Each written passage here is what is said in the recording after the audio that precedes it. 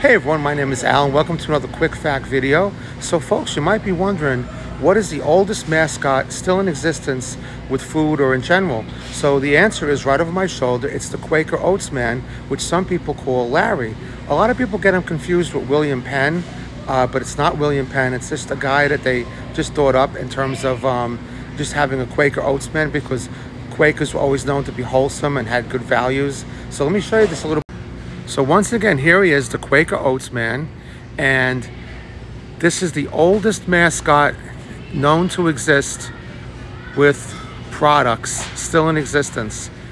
You know, there's a lot of competition out there, but I'll put up the little garb right over here, the little excerpt, and it'll show you that he's been around since 1877, product of General Mills, and he's still going strong. He's still looking good after all those years.